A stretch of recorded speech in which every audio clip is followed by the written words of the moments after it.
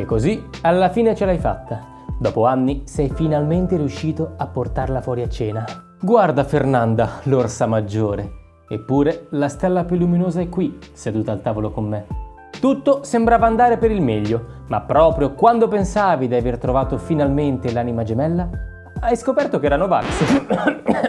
Ho chiesto leggermente frizzante e qua sembra che ci sia dentro il grafene. Ti senti smarrito, non sai bene cosa fare, perché la dea a cui stai facendo il piedino da 20 minuti buoni ha iniziato ad inveire contro Bill Gates e senti che le vostre anime non vibrano più alla stessa frequenza. Aiuto! E adesso come faccio a portare a termine la mia missione? Il canale di Gross presenta 10 frasi da non dire per rimorchiare una Novax. Sai, il vaccino non è l'unica cosa della Pfizer che ho assunto stasera. Maiale!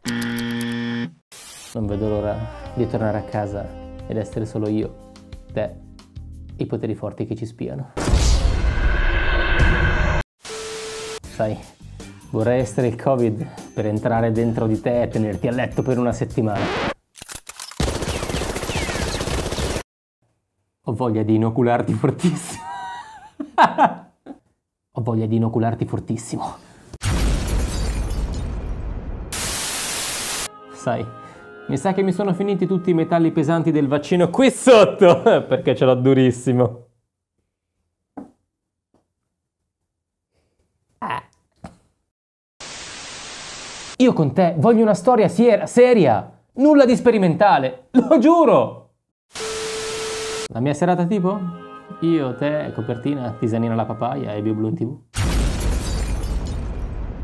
Già ci vedo in primavera, al sole, come due piccioncini a intubare, a tubare, tubare. Stavo pensando, ma se salissimo da me? Non serve il Green Pass lì. Che poi, finché c'è la passione, il romanticismo per me in una coppia dovrebbe essere come il vaccino. Obbligatorio ma solo over 50. Brutta, eh? Eh, devo arrivare a 10.